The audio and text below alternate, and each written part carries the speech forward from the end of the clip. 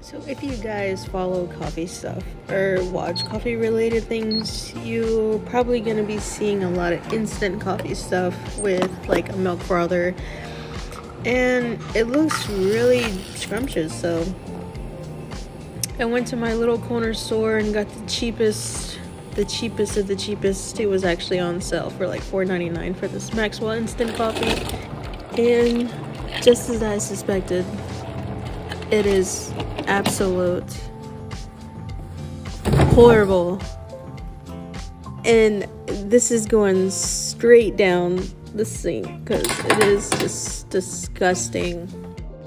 This should be like illegal. Like this they they shouldn't even be a company. Why are they still in business? 5 hours later and the taste is still in my mouth. Don't try this at home.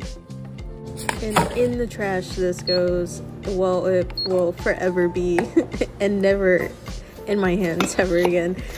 Whoever drinks instant Maxwell coffee, God bless your soul because that is the most disgusting thing I've ever tasted in coffee history of my life.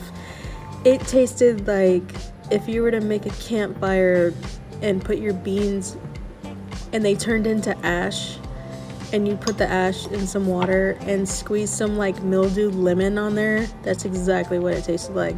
It was like sour.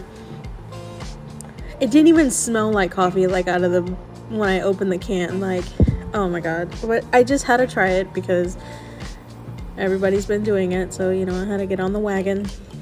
But so I'm just to stick to my normal fresh roasted beans from my local roasting company and um, stick to making coffee that way. So happy Valentine's Day, everybody. So this is my Valentine's coffee drink to you guys. And if you're wondering what that red stuff is that I was putting in there, it's actually strawberry syrup sauce from like the liquor store.